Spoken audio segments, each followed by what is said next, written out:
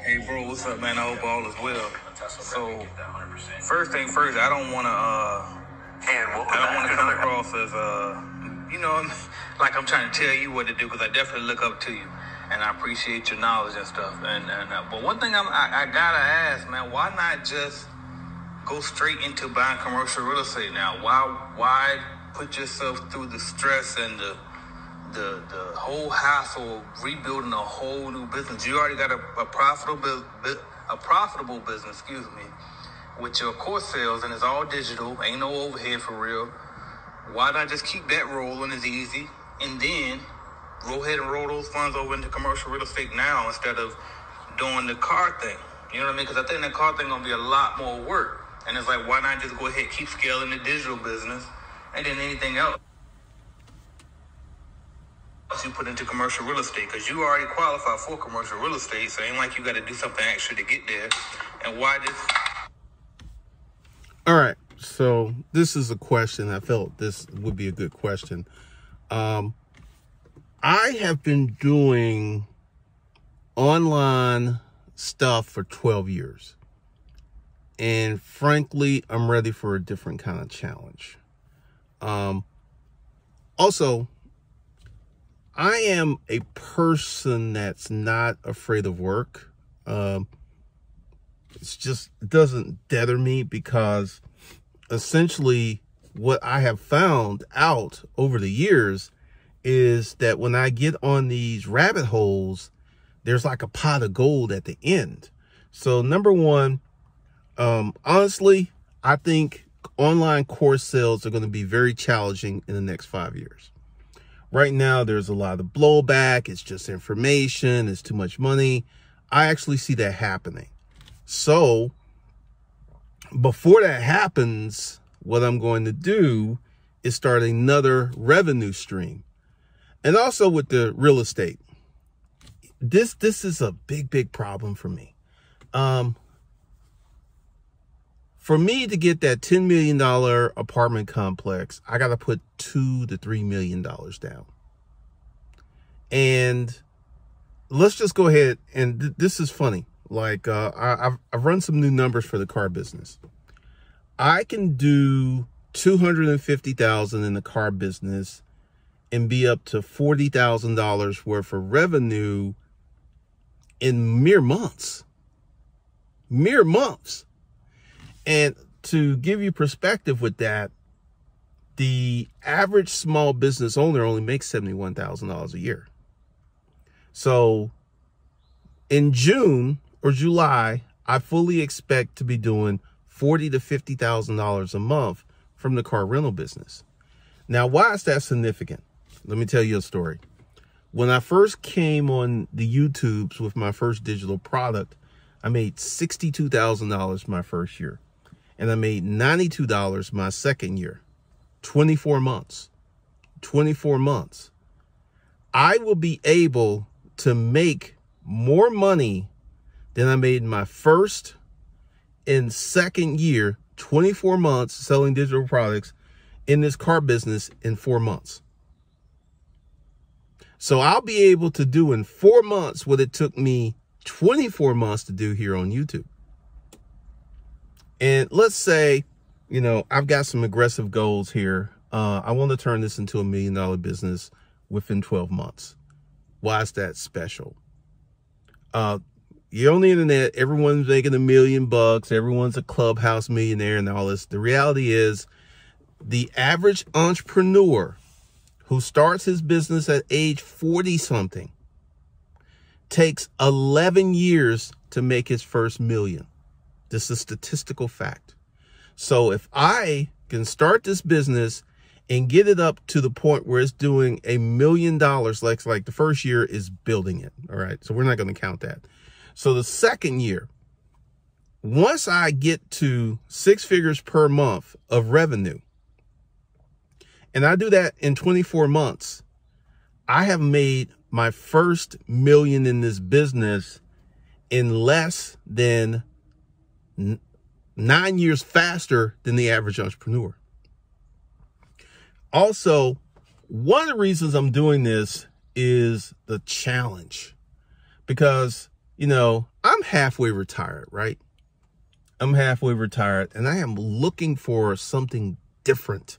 Uh, since I've gotten my teeth into this, going out looking at properties, and he's right. The car business is going to be a lot of challenges and a lot of hassles. But this is something else that I've researched. Essentially, when I research a dealership, I research the owner, I research the LLC, and I've seen this over and over again. There's a there's a guy who owns the Car Connection. It's a car dealership in Tucker. He's had this dealership for 31 years. He gradu- he graduated from University in Georgia in 1989 and he started the business in 1989. Still going.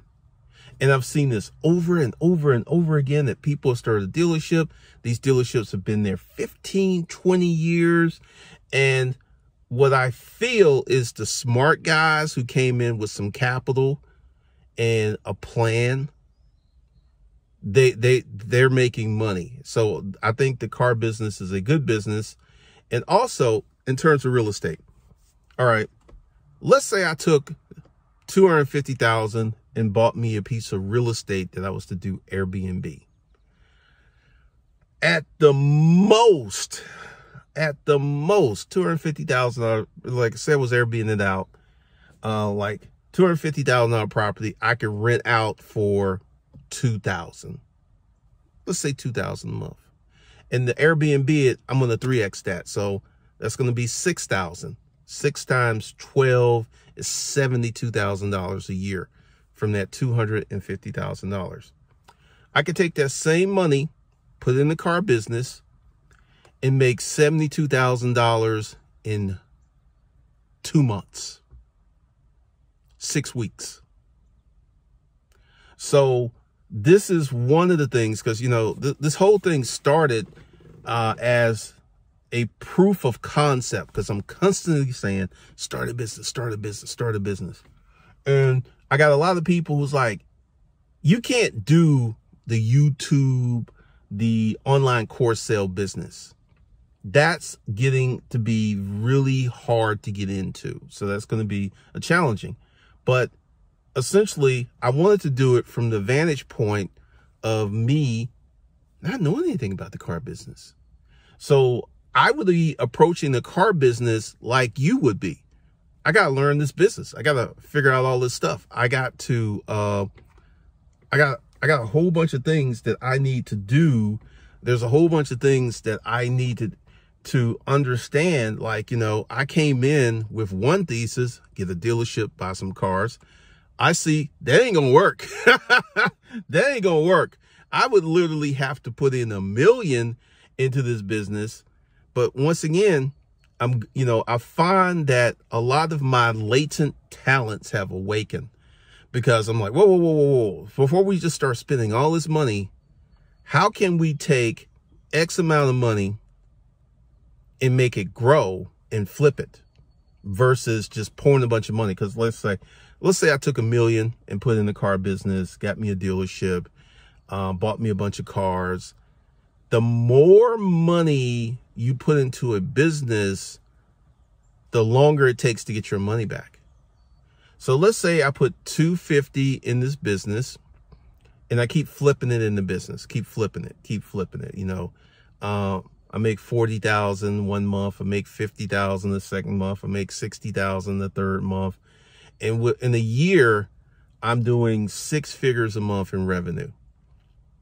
Um, I'd rather do that and avoid, because essentially money hides flaws. Money hides blind spots. Money creates, uh, different things. So essentially, uh, I'm going to cap it at 250 because uh, essentially I see a lot of profitability in this because uh, essentially, let's just say I just invested the 150 and got me 20 cars, right? And let's say that after expenses, that was 18,000 bucks a month. So in a year, that's 200K. Just at that level, it's 200K. That's really good money. That is really good money. So let's see what else, the next question. I'm just curious about the move. Maybe I can learn something from it, but uh, you know what I mean? Because like you the one who keep me in line and remind me, hey, don't you know, jump into these other things. There's is other things that can make money out there. And yeah, we know, we both know that a business will give you a better return than any stock, any real estate, any all of that, right? But now, once you get to that point where you are, it's like you don't have to start another business because you already got a profitable business. Now you're at a point where all you got to do is invest it in real estate, and you can do some stocks too that I mean that pay you well if you don't if you want to be lazy about it, but you don't have to start a whole new business because you already got a profitable business. You can just keep scaling that. You know what I mean? And, and go from there. Maybe do some for you products. Uh, but I don't know, man. I'm just curious about the move with the car dealership because because uh, I know sometimes we'll do things just to kind of show people, look, I'm trying to show you a business is the way to go, and then you want to document and show it to them. But sometimes, hey, man, if you don't got to. Uh, that was the original premise. But once again, once I jumped into this rabbit hole, once I saw the numbers, once I worked out my projections, because I, I worked out two sets of projections. I worked out some, everything goes wrong. Okay. Everything goes wrong. Uh, let's say on uh, the 20 cars, I get 20 cars and it goes wrong and it's horrible that's still $7,000 a month. That's if things go wrong. The cars are not rented out half the month. That's $7,000 a month. That is um, 70, $84,000 a year. That's if everything goes wrong. That's if things go wrong. So that's the worst case scenario, um, you know, finding out situations and stuff. And yeah, this is to show people, because that was the original premise, was to show people that my thesis was correct. But once I started to dig in the rabbit hole and I started to do research and I started to see a whole of these guys who own these dealerships for decades. They're owning these dealerships for decades. And I'm, I'm seeing this over and over and over again. And I, I am seeing also with uh, high HyreCar. I'm going to use HyreCar. I'm not going to use Turo. Um, and there's HyreCar, get around. And eventually what I'm probably going to do, because I'm going to work on the cars initially, but I'm going to start renting trucks. You know, um, there's a category of folks out there that needs trucks, that bad credit. Like you get a truck, you can go ahead and make you some money, right? So I'm going to start renting trucks. Um, also, I like a challenge, and this seems like a worthy challenge because honestly, I'm be I'm I'm be I'm be I'm a little bored. I'm a little bored. Um, that's one of the reasons I'm so excited to be dating this girl, because she she she she's an interesting creature. She has a lot of things going on, and I cherish our time together and that that's something else that kind of woke me up. And um I, I need a new challenge. And also i've been working from home for the last 12 years. I kind of want to get out the house. I know, I know everyone is like trying to get back to the house trying to buy a big house i want to kind of get out to the house. I kind of want to do some more stuff. So as i go on this um pathway and the more that I learn, the more exciting I get because I could take $240,000 and within 12 months, turn that into just flipping more returns, turn that into six figures a month. I mean, once again, this is my thesis because it's like real estate is a good play. Real estate is a great place to park your money. But once again, real estate, you need a lot of money to, because I'm still going to do this apartment complex. That's kind of like the retirement play. Uh, go ahead and get me a, you know, because essentially, if this works out the way that I want it to, um, I will be able to put more money down for the apartment complex. So instead of going into a $10 million complex and putting 2.5, I put 5 million down, which is sure that I would get the financing and literally half the revenue will be mine because you know and that, that's something else too. When you talk about buying an apartment complex you go to google essentially i gotta meet people i gotta talk to people i gotta talk to real estate agents i gotta let people know what i'm looking for. But before i even get into all that i gotta be in position to get the apartment complex so i'll have the youtube business i have the online course business I have the car rental business and I have the car sales business. So I would have four revenue streams, four revenue streams. And that's one of the reasons I'm doing it because right now I have the YouTube business, online course business, consulting. I, I don't really do too much consulting. So really I only have two revenue streams and I really want to have more. I want to have more. So that's another reason I'm doing this and essentially, the money's just stacking up in my personal checking account. It's just that I might as well put that money to work. Because, you know, I'm at a point where I have such good cash flow that I don't have to save a lot of money. I mean, my cash flow per month is more than what most people make per per year.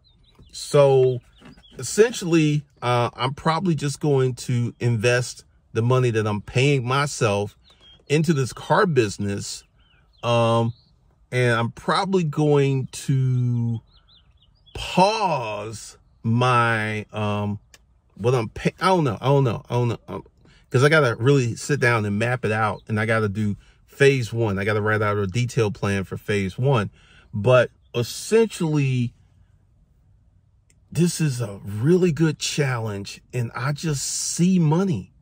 I just see money. Like in the worst case scenario, I got 20, 25 cars, 7,500 bucks per month. Almost passive income.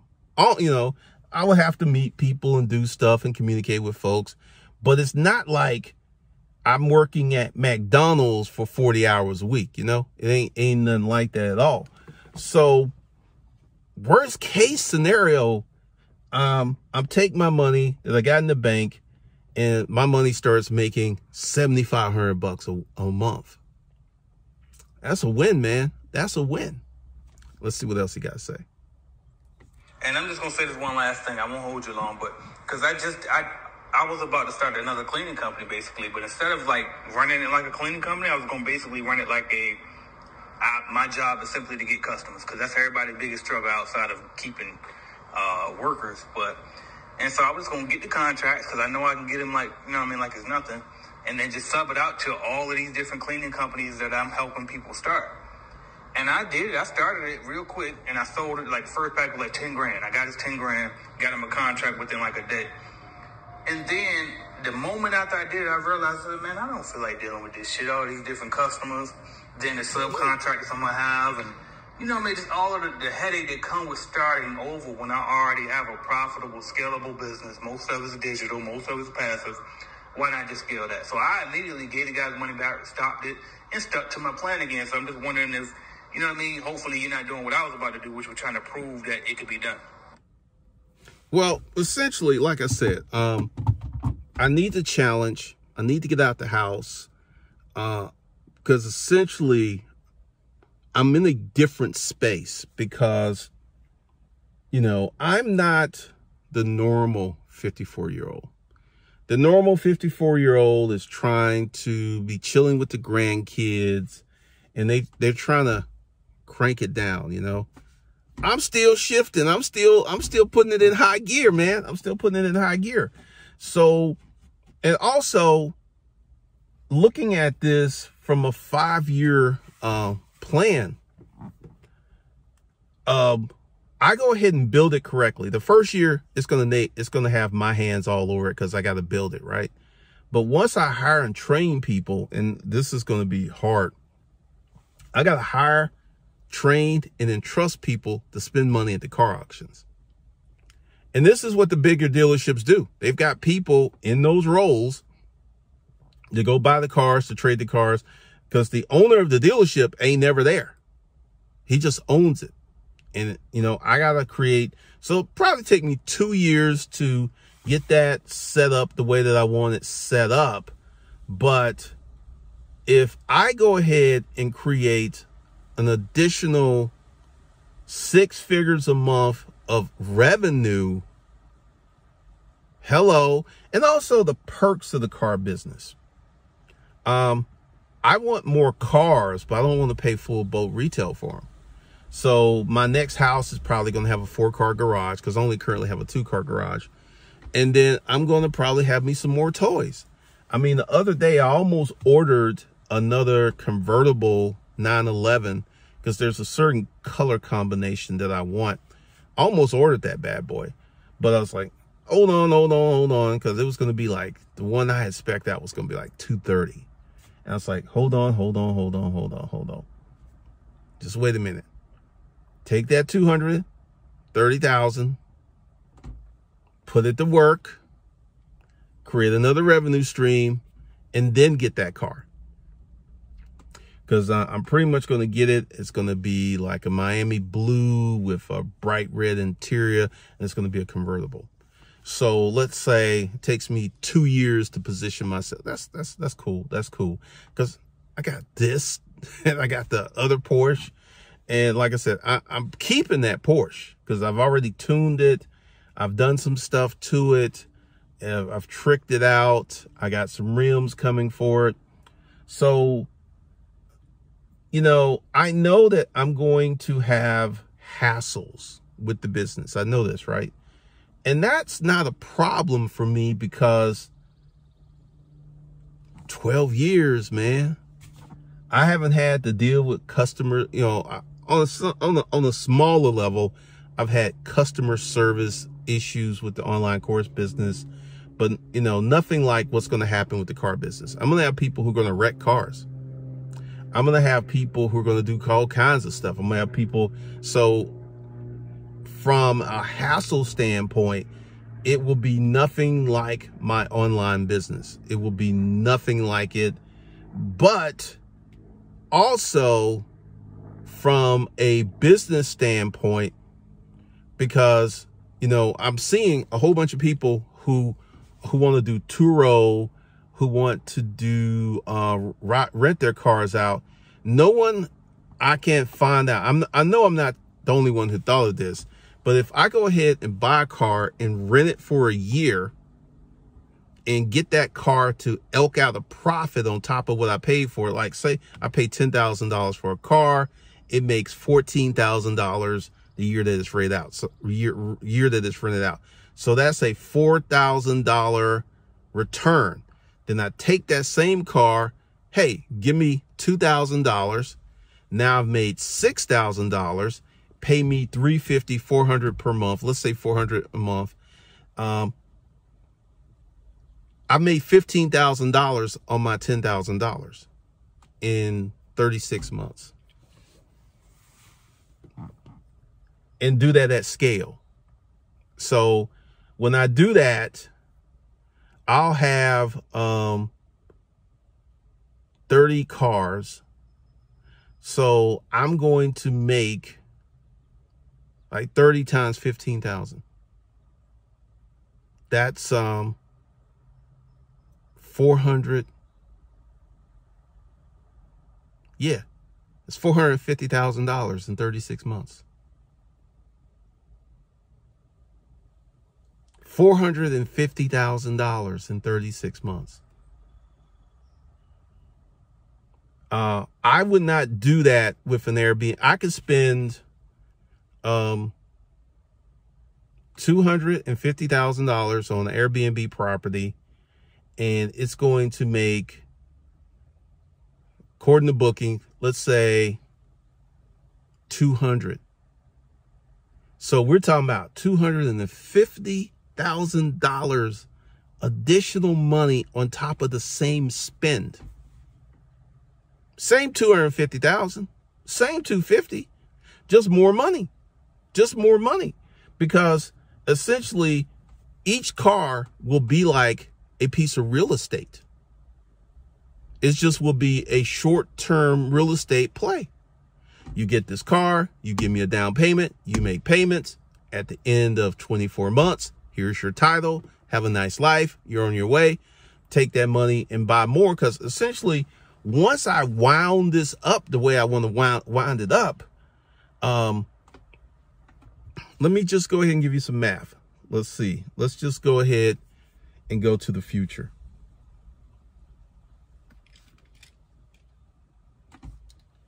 Let's go to the future. Let's say I have 350 cars out on payments times 400. That's $140,000 a month. And that can happen in three years.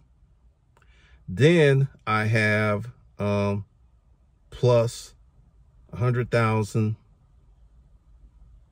rental is 240 and then I sell uh, 30 cars a month, $2,000 down, that's 60, that's 300K a month. I can do that in three years. 300K a month. And then once I get into the business and once I'm able to stretch my legs and get some experience, I have a feeling I can make these numbers even tighter. I can make these numbers way tighter. And also um, cater to the people who need vehicles because uh, I was essentially thinking it's like working people cars, you know. Um, but I'm going to still call it Mac Daddy Autos because working people cars – that that that that's kind of who I'm going to be aiming my business toward people who need a car to get to work. But um yeah. So hopefully this answered your question because I'm going to put this on my Instagram page and I'm going to put it on YouTube. So because I, I know some people like, you know, he good. Why is he doing all this? It's exciting. It's exciting. Um, I'm in the graveyard right now, and I'm here for a reason. There are a lot of people who are here who didn't get to do what they wanted to do in life. And I don't plan on ending up here without doing what I want to do in life. So that's all I got for you guys. I will see you in the next one.